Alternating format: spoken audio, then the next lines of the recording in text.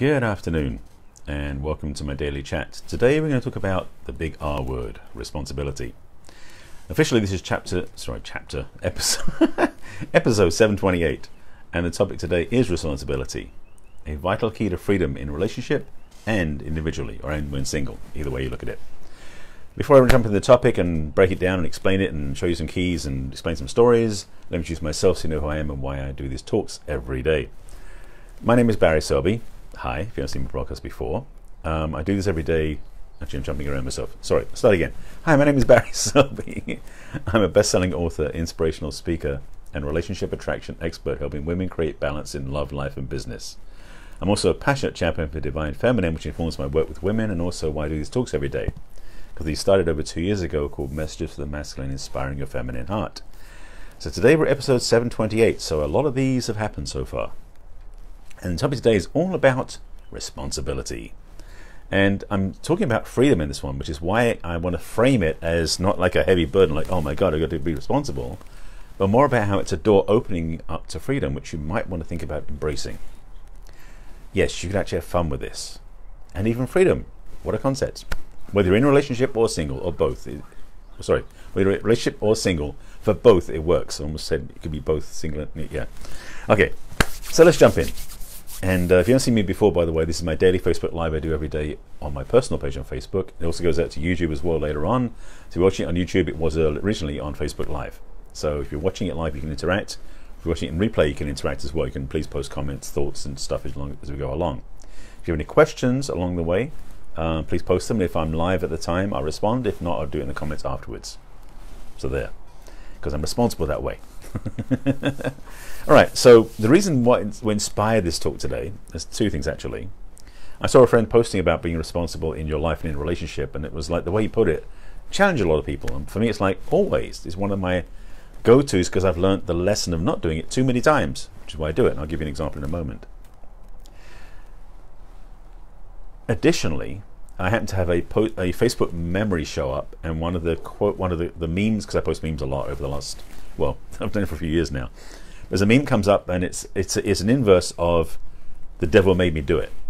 You know, people say like, I mean, I'm sure it's common anymore, but it used to be a very common phrase people say. It's like, you know, when you do something you shouldn't have done, it's like, "Oh, the devil made me do it." So the meme is something the lines of, um, "When are you going to finally stop blaming Satan and take responsibility for your actions?" which is kind of a joke because I have a whole thing about Satan and devil and everything else. And for those and, and Cliff Note version, I don't believe in one. But I wanted to speak to this point of view of responsibility because it is a freedom tool. Many years ago in a seminar I took back in the 80s, we talked about how, and they, they keep they, they used to do a lot of wordplay. So I say responsibility is two words response, ability, meaning the ability to respond. And that works to a degree, but I want to speak to it more inclusively. Responsibility basically means taking back your power and by speaking your truth. Part of that, let me play, I'm going to play them in a few levels. One of those is when you make mistakes, clean up your mess. When you do something wrong, clean up your mess. When you cross somebody the wrong way, clean up your mess. You see a theme there. Um, because it's important, I believe, as conscious people, caring people, authentic people, to be responsible, to be caring, to be willing to take responsibility for things we do wrong and we do right. Because there's both sides of this. Responsibility is not just, I made a mistake, I need to clean it up. It's also like, if you've got a mission to fulfill, take responsibility and do it.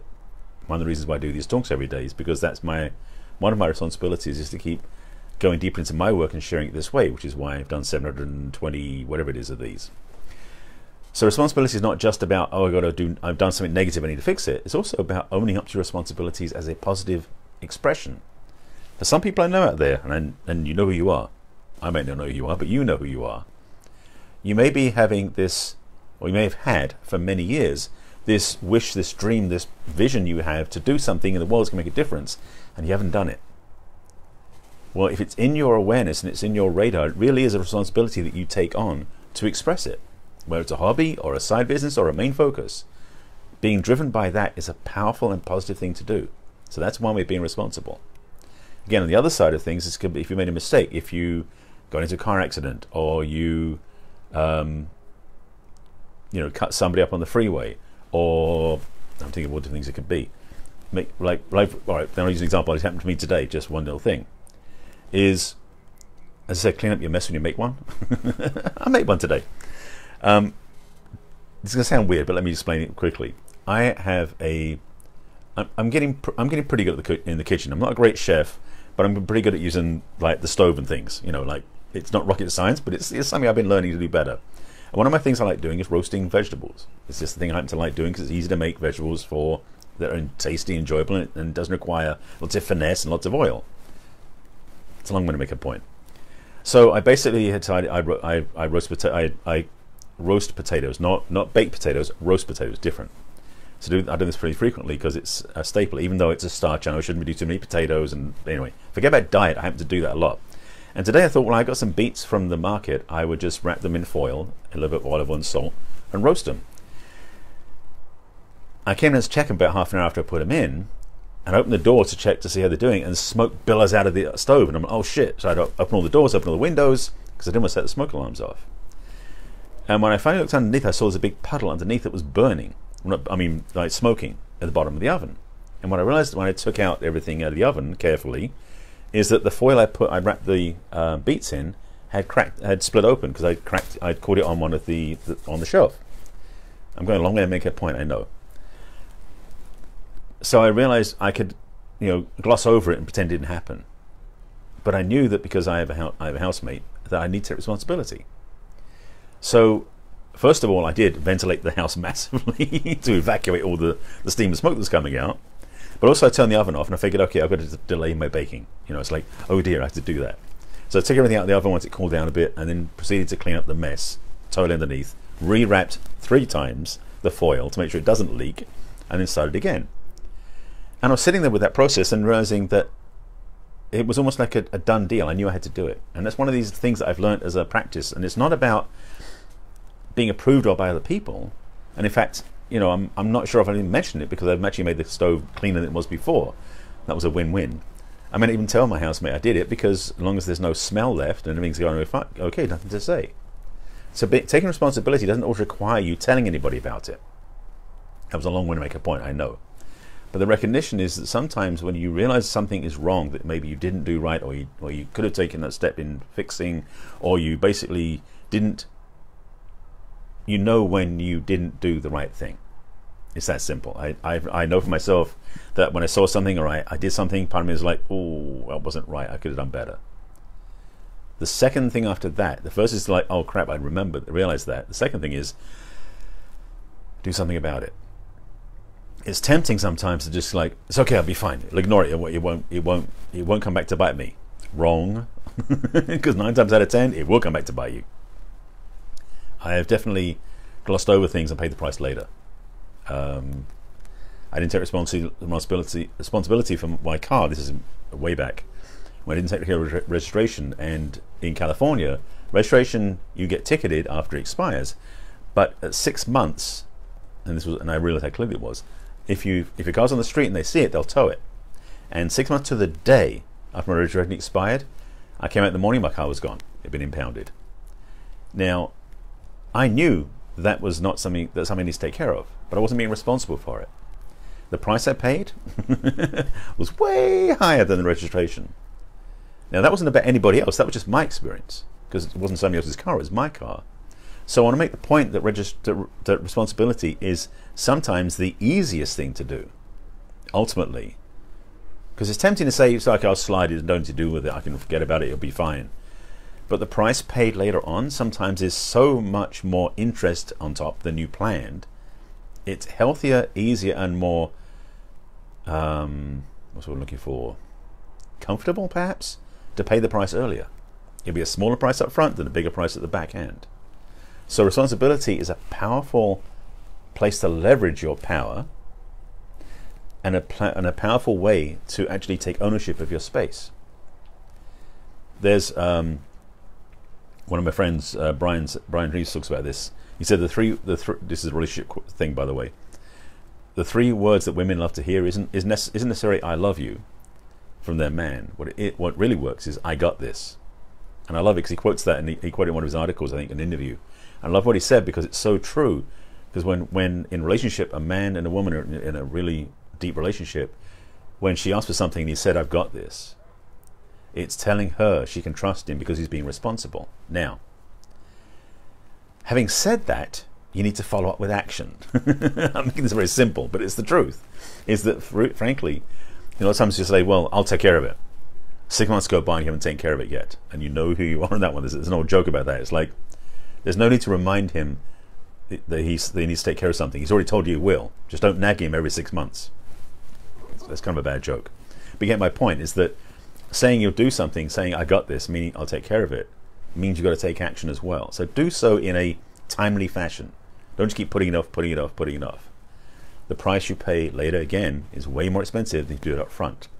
And the price you pay in a relationship, if you said you'll do something, you don't do it, the cumulative upset you're going to receive if you don't do it for time, months, weeks, whatever it is after that point, it isn't worth the price. It's going to be way more than you want to, so do it up front, take care of it and handle it, whatever that responsibility is. So for me, I, I value responsibility. And I said it before, it, the quote from that seminar was, it was the ability to respond. And frankly, it's so true because it is the ability to respond. However, it's also the ownership to respond. And I think there's more to it than just simply saying, well, I've got the ability. Because the thing about the ability to respond, ability is static. It's like, I can do that. The question is, will you do that?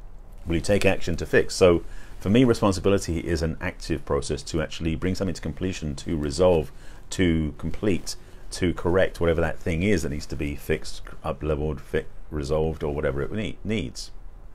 I think I've got all the answers to that. So I'm I'm kind of passionate about responsibility because it works, and it is a thing that when you do it, when you do it, there's also a nice little side benefit. Is oftentimes you feel better about yourself afterwards, which is kind of cool too. So for me, when I talk about responsibility, I'm really saying it's about the individual as well as in relationship, because in relationship it's vital, I believe. No, it is vital. Period.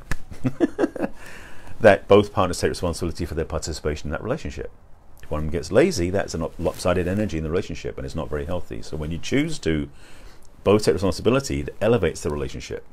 And when you're single, being a responsible person, it, besides it does make you more attractive because people feel the energy of you being in integrity. Because being responsible, taking action to respond to things that make things happen the right way, is a way of influencing and supporting your own confidence, self-confidence, and integrity, which are attractive qualities in relationship and dating. So when you become more responsible, people will look at you with, with greater um, appreciation and respect. Not a bad way to be if you're single. So, as I said at the beginning, this is a powerful skill and tool, or as a key, excuse me, a primary key in relationship and when you're single. So this applies to both. I think you got my point. Told a little story, gave some examples, reframing. I want to make sure I covered what I was going to talk about. I think I've given you everything I need. Uh, let me think. Is anything else? Well, as I said at the beginning, I do invite your questions, comments, and thoughts about this because responsibility is not always something easy to do. Um, in big picture stuff, it could be about custody of children. It could be about taking care of aging parents. I just have watched that happen with um, a friend of mine's father who actually just passed away, with the responsibility they took very seriously to make sure his last days were, care were cared for. That's responsibility. So responsibility isn't just about cleaning the stove, cleaning the oven as I was doing necessarily or about making amends for something you may have done to cross, well, let me say this way. Just hold that thought, come back to that one. So it can be as big as family dynamics, taking care of children, taking care of aging parents. The one I was going to talk about was this thing about um, making amends. Part of this, yes, it does. Yes, Mary. Hi, Mary. Responsibility has to do with integrity. It absolutely does. Um, or making amends. So part of responsibility, one of the aspects of responsibility is when you've made the mistake, you've crossed somebody the wrong way, you've done something to harm somebody emotionally, mentally, maybe even physically, that making amends to clean it up is part of that responsibility. So, um, just thinking accountability. There's a piece about accountability that sits in there as well, but I'm not sure it belongs in this piece because responsibility is in a way to be accountable. It means that when you are uh, if you've done something, you've crossed something, you've made a mistake somewhere, you're accountable to that, so you need to respond. So, ability to respond and accountability that go together in this context. And yes, they do have a lot to do with integrity because when you are being responsible and accountable, you're actually becoming more into alignment with who you are, which is your integrity. So I'll leave it with that. I'll leave you with that. I think there's not much else. I mean, you've got the points. I don't need to repeat and keep reiterating. I think I've made the point on this one. Key to healthy relationships, key to living life successfully, a key to your integrity is responsibility with a side dish of accountability. Um, thank you for watching. Appreciate, appreciate you being here, by the way. This is my daily chat, daily share, daily inspiration. If you haven't seen my broadcast before, you can find somewhere on this um, um, broadcast should say we uh, be notified next time I go live. I think there's one of those somewhere. You can click on that and be notified. Um, what's that Mary saying? Making amends, accountability is special. That's the thing. It, it shouldn't be special. It should be normal. I believe accountability should be part of our natural way of responding. Is that we're accountable for our actions, accountable for our accountable for our words, accountable for our um, our way of being. Well, that's true. Yes. Okay. So some people say I'm sorry without meaning it. Yeah, that's very true. See, that's that's thing is that's not being responsible. You're saying I'm sorry just to throw it out there, and I know people like that who do that. They just say I'm sorry, but they don't. They just go ahead and do the mistake again. They don't. They don't clean up. They're not responsible. They're not accountable. They're not any of that stuff. Um, actually, no, I, I, I, don't. You said some people act responsible but don't mean it. I'm not sure that's actually true. I believe people only act responsibly when they do mean it. If they're not, they don't mean it, they won't be responsible. At least that's the way I feel about it. But you may have different experience. So that's my view anyway. So anyway, to wrap this up, because I'm completing this to sign off, because I want to keep my broadcast reasonably short, like 10, 15 minutes. Um, this is my daily Facebook Live, as I mentioned. If you haven't seen me before, come join me at 5 p.m. Pacific time on my personal page on Facebook, which is Barry Selby. My replays go onto my business page, which is Barry Selby.author on Facebook, as well as my YouTube channel, which is Barry Selby. Please subscribe to my YouTube channel. I welcome you to join me. And the playlist is called Messages for the Masculine. So different experience to let you go. I'm not sure if it, what, I'm not sure quite what you mean by that. I'll, I'll answer when I sign off. Um, thank you, Mary, for your input. I appreciate that.